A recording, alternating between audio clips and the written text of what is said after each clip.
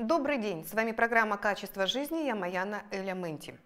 Беспокойство не устраняет завтрашних проблем, но забирает сегодняшний покой, гласит буддийская мудрость. Все мы это понимаем, но иногда никак не можем избавиться от тревожных мыслей. Как же это сделать? Сегодня об этом в нашей программе. Сегодня в нашей студии гость программы Татьяна Юрьева, заведующая кафедрой клинической и общей психологии ТГУ имени Державина. Татьяна, здравствуйте. Добрый день. Татьяна, сейчас такое непростое время почти каждый житель нашей планеты требует к себе психологическую помощь. Вот как можно все-таки самим себе помочь, не привлекая специалистов? Начнем а, с того, откуда появляется тревога и а, какие сигналы тревоги мы должны знать, когда она уже переходит в опасную фазу. Тревогу вызывают какие-то внешние события. Это могут быть происшествия реальные или могут быть, например, выпуски новостей. И э, при при получении такой информации человек начинает тревожиться. Это проявляется прежде всего в организме. Возникает учащенное сердцебиение, дыхание становится более поверхностным, могут покраснеть кожные покровы. Это так называемая реакция стресса. Наш организм мобилизирует силы, чтобы бежать или активно действовать, защититься от опасности. То есть это проявляется сразу в теле, да? Да. Скажите, насколько это опасно? То есть развитие э, психосоматических заболеваний в дальнейшем возможно? Э, да, возможно, если не избавиться от этих э, чрезмерно тревожных состояний. Потому что, с одной стороны, тревога несет в себе позитивный смысл, поскольку она предупреждает нас об опасности, и мы стараемся предпринять какие-то действия, чтобы избежать этой опасности. Но когда уровень тревоги сохраняется постоянно высокий, то, как вы сказали правильно, могут возникнуть психосоматические заболевания, нарушения, э, ну, разного рода заболевания, например, гипертония является психосоматическим заболеванием. То есть даже так, это не связано напрямую с кровообращением, это может быть просто обычная психосоматика, да? А, с одной стороны, это связано с нарушением кровообращения, но давление поднимается э, в ответ на стресс, на высокий уровень тревоги. То есть каждый раз, как только человек волнуется, у него поднимается давление. Скажите, пожалуйста, ну где происходит сбой в системе, да? А, то есть гармоничный человек, который может управлять собой, да? А, наверняка он не попадет в зону риска. Вот где происходит эта грань, когда а, восприятие обычной тревоги а, в, уровне, в уровне нормы а, преломляется и уже а, переходит а, в уровень страха, уже фобий? А, значит, у него есть э, какие-то события в истории жизни, которые уже были для него травматичными. И вот новое событие, похожее на те травматичные события, вызывает, конечно же, усиленную тревогу. У него уже был плохой опыт, и он боится, что это повторится. Да? И вот тогда могут возникать такие продолжительные состояния тревоги, тревожные расстройства. В каких случаях уже стоит прибегать к медикаментозному лечению? И вообще стоит ли к нему прибегать? И можно ли предупредить вообще уже такую острую фазу? Ну, э, на этот вопрос я компетентно вам не могу ответить, поскольку медикаменты выписывают врачи, и в данном случае, если мы говорим о противотревожных препаратах, то психиатры, соответственно, нельзя самому себе делать такие назначения, нужно обращаться к специалисту, терапевту, э, невропатологу или психиатру. Татьяна, скажите, пожалуйста, вы озвучили, что телевидение, радио, интернет – которые пестрят только очень негативной информацией, совершенно. Да? То есть э, на первые полосы выносится именно негативная информация. А как здесь быть? Человек так устроен, что он любит поглощать информацию. Да? Как научить вот этой самой себе дисциплине фильтровать и не погружаться в негативные новости? А, ну, во-первых, э, больше наблюдать за собой, замечать, когда у вас возникает тревожное состояние, когда учащается дыхание, когда вы чувствуете, что появились беспокойные навязчивые мысли. Соответственно, нужно э, такую информацию для себя э, блокировать, не смотреть такие выпуски новостей, такие передачи, поменьше читать э, новости в интернете. Ну вот скажите, пожалуйста, в данной ситуации с коронавирусом, да, очень много информации, погружающей, углубляющей, из чего он состоит, как он работает, а, вплоть, э, ну, мы, чуть ли мы становимся все не учеными и начинаем понимать, как это устроено. Вот обычному человеку нужно это знать. По-моему, а, данная информация, более такая углубленная, еще больше повышает уровень тревоги. Так или нет? А, с одной стороны так, но надо отметить, что все мы находимся в новой реальности. Такого никогда раньше не было, и сейчас все население Земли, э, разных стран э, в, находится в стадии переживания кризиса, травматической ситуации, может быть в стадии горевания, что мир изменился, он не будет таким, как прежде, и нам нужно это принять. Те, у кого э, действительно острая э, ситуация в стране, э, это отмечают сейчас мои коллеги и отечественные, и зарубежные, они э, должны выразить свою тревогу, да, они должны узнать что-то об этой ситуации, поэтому они смотрят такие новости. И в этом случае человек должен э, пройти эту стадию, стадию принятия, стадию э, реакции на этот стресс и перейти в следующие стадии, э, когда он уже примет ситуацию и будет сам постепенно из нее выходить. Вот по данным Всемирной организации здравоохранения, 30% населения до этой ситуации имеет а, психологические, психосоматические а, заболевания. И именно поэтому количество психологов так выросло в 21 веке, особенно и усиленно, я бы сказала бы. Сейчас, наверное, эти 30% гораздо уже увеличились до большого масштаба. Татьяна, что вы посоветуете в данной ситуации людям, которые находятся в самоизоляции, тем людям, которые сейчас ходят и продолжают работать дальше, да, и жить, и делать какие-то действия? Как не потерять в себе гармонию, спокойствие, не потерять радость к жизни?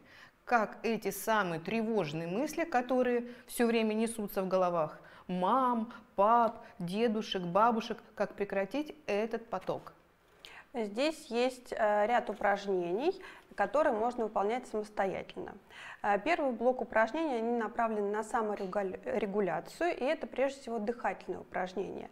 Например, э, многие специалисты рекомендуют выполнять в тот момент, когда вы только заметили, что у вас появляется тревожное состояние, такой порядок дыхания. Вдох делать на 4 счета, а выдох на 8. Я хочу немножечко пояснить. Вот это относится к практикам медитации, к духовным практикам, которые раньше сейчас считались именно духовными практиками, да? Ну, можно сказать, это вот такой пока небольшой фрагмент. Это обычная техника, техника нормализации дыхания. Она способствует тому, что все процессы в организме стабилизируются, а, становятся более гармоничными, и, соответственно, человек успокаивается. Но сейчас это очень-очень популярно, именно эти дыхательные практики, потому что действительно, видимо, они приносят огромную пользу. Вы вот как психолог поддерживаете это? Да, я поддерживаю. У нас есть даже такое направление когнитивно-поведенческая терапия. Вот сейчас есть третья волна когнитивно-поведенческой терапии, и они обратили внимание в том числе на духовные практики. Раньше они были э, зациклены больше на техниках изменения мыслей, сейчас они все внимание обратили на дыхательные практики, у них есть такое целое движение Mindfulness – это наполненное сознание, медитация осознанности. И мы можем выполнять ее каждый день. Достаточно просто успокоиться, а, сосредоточить свои мысли на своем дыхании, наблюдать, как происходит вдох и выдох, следить за тем, какие изменения происходят в организме, как поступает вдох и как вы отпускаете дыхание и выходит воздух, как движется живот. И вот такое внимание к своему дыханию, потом может быть внимание э, к окружающей обстановке, э, какие-то звуки, э, ощущения в теле, прикосновение к поверхности пола, там, кресла. Все это нужно э, осознать, сконцентрировать на этом свое внимание. И если вдруг у вас опять появляются тревожные, обычные, навязчивые мысли, нужно вновь переключиться на наблюдение за своим дыханием.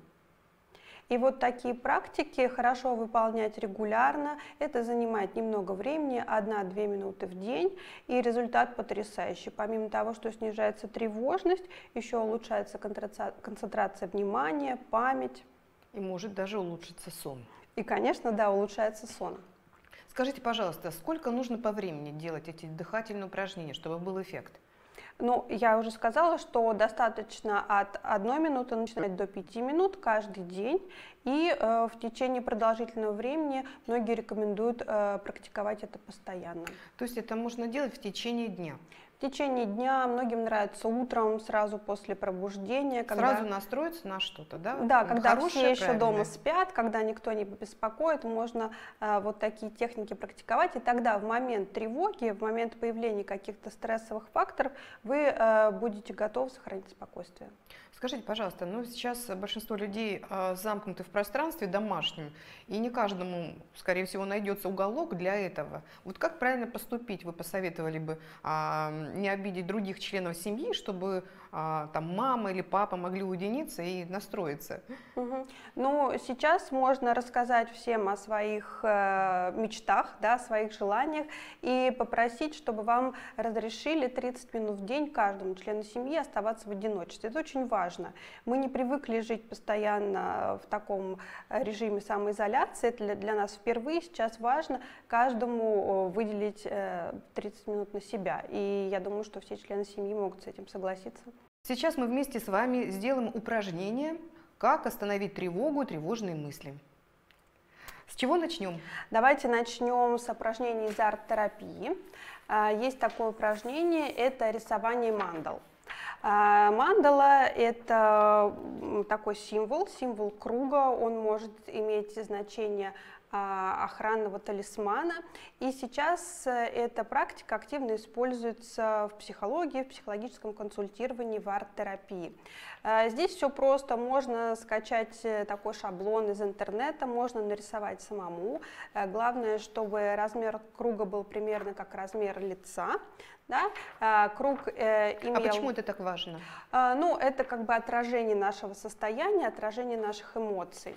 Вот я а, хочу показать уже раскрашенную Да, уже вот картину. готовые варианты.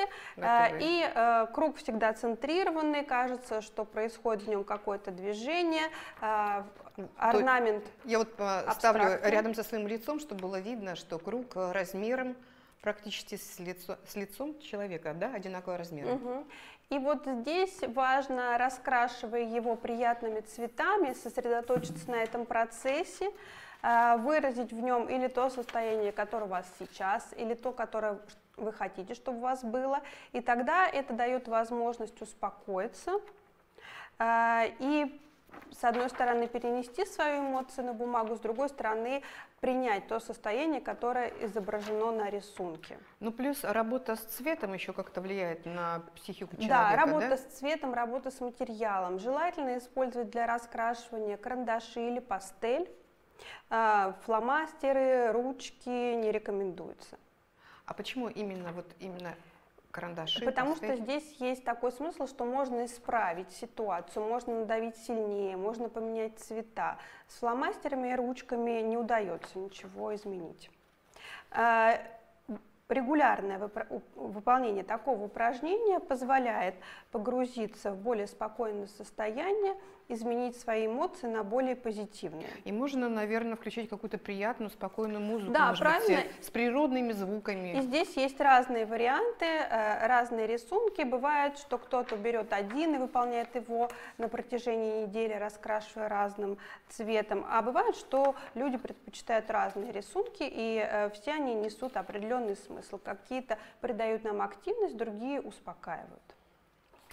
А, Еще другое упражнение, э, я сейчас переключусь на тех людей, которые любят больше конкретику, логику. И это упражнение из когнитивно-поведенческой терапии называется копинг-карточка. А, в тот момент, когда человек чувствует первые признаки тревожных мыслей, он должен обратить внимание, какие э, факторы э, указывают на то, что они появились. Например, учащенное дыхание – более поверхностное, и возникновение беспокоящих мыслей. А, следующее, он должен определить а, для себя фразы, которые будут его успокаивать. Все хорошо, моя семья здорова, да, ситуация скоро изменится. А, дальше, для того, чтобы легче справляться с этим тревожным состоянием, ему нужно найти копинг действия, которое будет помогать ему. Копинг – это способ решения проблемы, совладания с ситуацией. Например, это лучше, чтобы были какие-то физические упражнения. Всегда легче переключиться от тревожных мыслей на ощущения в теле. И хорошо, если человек будет использовать или дыхательные практики, или, например, приседания. А, есть случаи, когда одна клиентка прыгала на прыгалках, на скакалках. И, и это ее успокаивало. Это ее успокаивало, да. И э, дальше следующее, что нужно сделать, э, вспомнить э, свои достижения, сказать себе, я горжусь собой. Например, я горжусь собой, что я воспитываю сына хорошо. Да, такие позиции, которые повышают самооценку, говорят о том, что вы сильный человек, вы уже справлялись с проблемными ситуациями. И э, дальше последнее нужно написать все это на карточке, повесить э, в видном месте.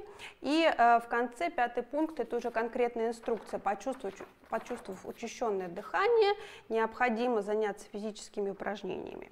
Да, все подготовить и развесить такие карточки, одну или несколько на видных местах в доме, чтобы в случае возникновения тревоги на них опираться да, и выполнять все это быстро и правильно.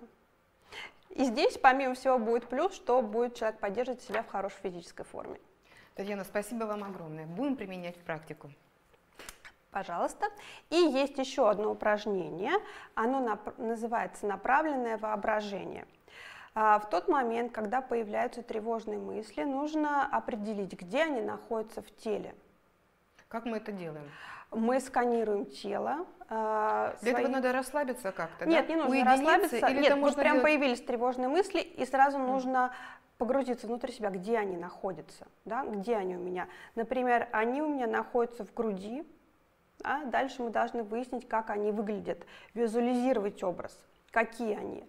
Например, я себе представляю, что мои тревожные мысли выглядят как пластилин, как кляксы из пластилина, и они такие э, ну, фиолетовые, например. Вот. Необходимо это образ э, вынуть из себя и рассмотреть его со всех сторон. А, иногда не получается вынуть его из себя, тогда можно представить его внутри и как бы переместить тело, и образ окажется на руке да, рассмотреть его со всех сторон. А дальше самое главное, нужно с помощью своего воображения его изменить. А, сделать так, чтобы он стал более спокойным. И, например, э, с пластилином можем представить, что у нас образ э, превращается в маленький серый шарик. Да, и То он есть вот уже... эта клякса такая страшная, неприятная, да, мы ее превращается, силой воображения, например, в морской камушек, да? Морской камушек, да, переделали, и теперь обратно его возвращаем в то место, где была тревога. То есть вернуть его надо обратно, но уже в более в спокойном, да, в гармоничном спокойном состоянии. состоянии. Потому что я уже говорила, что тревога нам нужна, нас защищает, и полностью от нее избавляться нецелесообразно. Нельзя. Да. Вот и после этого возвращаться в обычное состояние, и вы заметите, как дыхание стало более спокойным, ровным, и ваши мысли э, стали спокойнее. Каждый ли человек сможет справиться с таким а, заданием? Все-таки это связано как-то с визуализацией, да? Да, это больше подходит для тех, у кого развито воображение, а вот упражнение, которое называется копинг-карточка, для тех, кто любит логически размышлять. То есть здесь э, для любого человека вот есть возможности а, рисовать, копинг-карточку делать, а, и, и работать с визуализацией. Какие еще есть способы успокоения? А, ну, способы успокоения могут быть самые обычные и простые, то, чем мы с вами все любим заниматься, наши хобби. Да? Наше любимое дело, да? Наше то есть вязание дело. тоже может помочь? Вязание очень хорошо, это мелкая моторика, а, одинаковые действия, оно очень успокаивает. Кого-то успокаивает прослушивание любимой музыки это тоже очень хорошо, музыка благотворно влияет на психику. Татьяна, скажите, пожалуйста, ну а как с детьми быть? Понятно, что дети тревогу перенимают от взрослых, но тем не менее бывают разные случаи. Как справляться с детской тревогой? Э, с детской тревогой э, прежде всего нужно переключить внимание ребенка на что-то другое. Ребенок легко идет на это, он с удовольствием переключает свое внимание. И здесь опять же может быть рисование, да, такие же э, раскраски можно предложить ребенку. Можно ребенку предложить спокойные занятия с конструктором, которые тоже могут гармонизировать его состояние. И, конечно же, нужно прежде всего успокоиться самому, потому что ребенок все перенимает, копирует от родителей. Спасибо. Татьяна, скажите, пожалуйста, а вот как влияет правильное питание здоровый образ жизни, вот все, все психологи рекомендуют, как избавиться от тревожных мыслей. В одном из пунктов стоит правильное питание. Поясните, пожалуйста, почему а... правильное питание а, важно для нашего спокойствия? Потому что, например, переедание чрезмерное вызывает тяжесть, дискомфорт в теле, и человек может его интерпретировать как э, дискомфортное, тревожное состояние, недомогание, соответственно, он уже чувствует себя плохо и пытается связать это с какими-то внешними факторами. И с другой стороны, диеты, голодание, да, когда человек э, лишает себя пищи, это приводит тоже к сильным дискомфортным состояниям, истощению общению человек очень раздражителен и чрезмерно восприимчив к стрессам.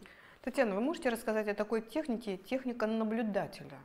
Вот э, ее тоже применяют для успокоения, для выхода из стресса. Как она работает? А, техника наблюдателя используется во многих подходах, в частности в нейролингвистическом программировании часто это практикуют. Еще называется эта позиция диссоциации. То есть мы должны посмотреть на ситуацию со стороны, увидеть себя со стороны. И тогда э, возникает меньше тревоги. Есть прием еще двойная диссоциация, когда человек видит себя, э, он видит, что какое-то событие, которое сейчас происходит, показывает на экране в кинотеатре, а сам он находится в, в будке киномеханика. Да, то есть начинает вообще, себя ассоциировать. Э, он да. наоборот диссоциирует, диссоциирует, и он видит угу. все это со стороны спокойно. То есть как будто просто фильм. Ну и пусть фильм идет, я посмотрю, чем закончится, смогу его перемотать и что-то э, при необходимости в своих воспоминаниях даже изменить. Ну вот скажите, люди, которые смотрят тревожные новости, а почему появляется тревога? Они начинают себя, наоборот, ассоциировать э, с теми событиями, которые там происходят. Как уметь отключаться, отделять себя от происходящего на экране? Ну, э, то, что происходит сейчас при просмотре новостей, содержащих тревожные новости, это э, так еще называется вторичная травматизация, то человек сам не был в этой ситуации, да, но ему кажется, что он в нее погружен.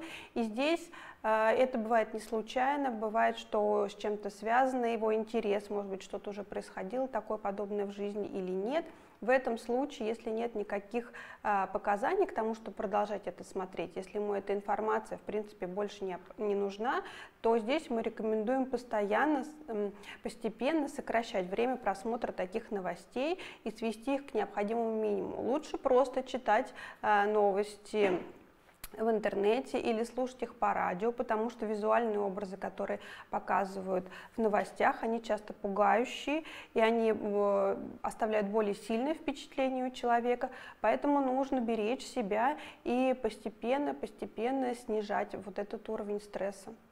Татьяна, часто психологи советуют идти контрмерами против стресса, а именно улыбаться через силу и техника благодарения. Расскажите, как это работает с нашим мозгом, с нашей психикой, с нашим телом? Почему это так полезно?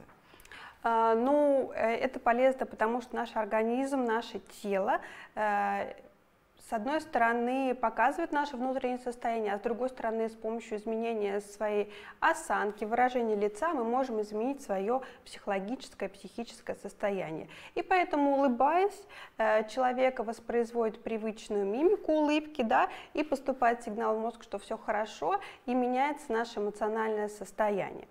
А, сюда же относится техника благодарения, когда мы делаем акцент на том, что у нас было хорошего, что произошло за этот день, за неделю, и мы свое внимание обращаем не на негативные факторы, которые произошли, факты, да, а на позитивные факты.